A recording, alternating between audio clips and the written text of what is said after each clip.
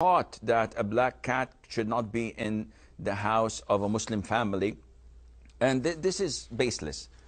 Basically, uh, a feeling that a black cat is jinxed or it is possessed by jinn, all of this is baseless.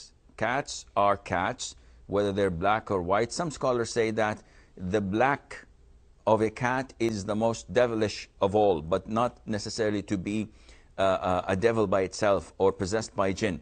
So is this shirk? No, it's not shirk, but because we have a saying in Arabic, whoever fears a, jinn, a genie, uh, a genie would come up and pop up uh, out for him. So you should not fear jinn. The jinn as described in Surah Al-Jinn, in the Quran, that they are intimidated by the humans. They fear humans.